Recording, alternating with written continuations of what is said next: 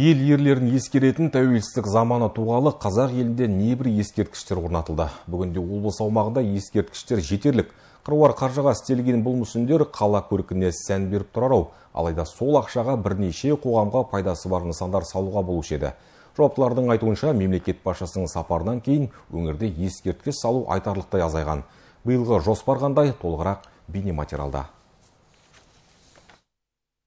Президент Қасым Жомарт Тоқаев өңірімізге сапар кезінде осы ескерткіштер жайында сын айтып кеткен болатын. Қыруар қаржыны ауаға жібергеннен гөрі қаражатты пайдалы нысандарға жұмсаған жөн. Ескерткіштер қоя бергеннен гөрі спорт және медицина нысандарын салуға баса назар аудару қажет. Бұл Атырау облысына ғана емес, бүкіл елімізге қатысты мәселе. Қазір облыс аумағында 1450 тарихи ескерткіш бар. Оның 313 жергілікті, 4 республикалық маңызы бар және қалғаны тарихи маңызы бар нысандар. Ең алдымен мына келген ұсыныстар Атырау облысы тарихи және мәдени ескерткіштерін қорғау жөніндегі комиссияда қаралады. Содан қолдау тапқан жағдайда жергілікті әкімдіктің ұсынысымен мәдениет министрлігіне жолданады. Ал одан қолдау тапқан жағдайда жаңағы конкурс жарияланып ары қарай жұмыстар жүргізетін болады. Ол енді ұзақ процесс болады. Монументтік өнер құрылыстарын орнату жұмыстары қазақстан республикасының тарихи мәдени мұра объектілерін қорғау және пайдалану туралы заңына және монументтік өнер құрылыстарын орнату қағидаларын бекіту туралы Қазақстан Республикасының Мәдениет және спорт министрінің 2020 жылғы 20 сәуірдегі нөмірі 103 бұйрығы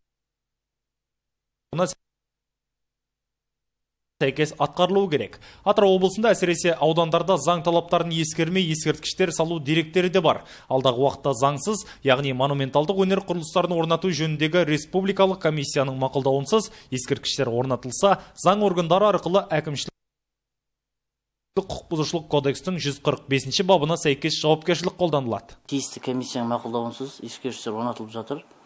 Енді ондай жағдай кездескен болса біздер енді әкімшілік құқық бұзушылық туралы кодекске сәйкес жаза қолдану мүмкін.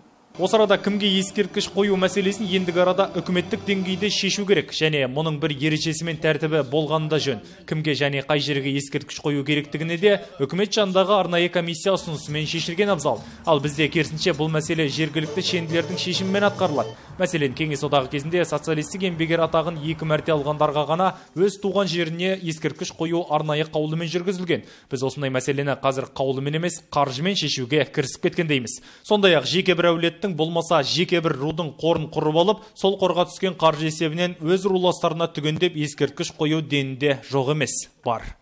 Қазір кезде қоғамда ескерткіш қою бәсекелестік пен науқаншылдыққа айналып бара жатқан секілді. Себебі социалист еңбек ерлеріне де, еңбек ардагерлеріне де, майданға барып келген азаматтарға да ескерткіш қою етек ала бастаған. Президентіміздің өзі өңірімізге сапары кезінде осы ескерткіштердің көптігіне сын айтқан болатын. Қазір кезде сол кезден бері айтарлықтай өзгерістер енген. Мәселен, биылғы жылға тек қана Хиуаз Доспановаға және де Зейнолла Қабдолов атамызға екі ескерткіш қою жоспарда тұр. Нұрсұлтан Нұрсейт, Алихан Таңатов, Қуанышбек Бергенұлы, жаңалық қызметі.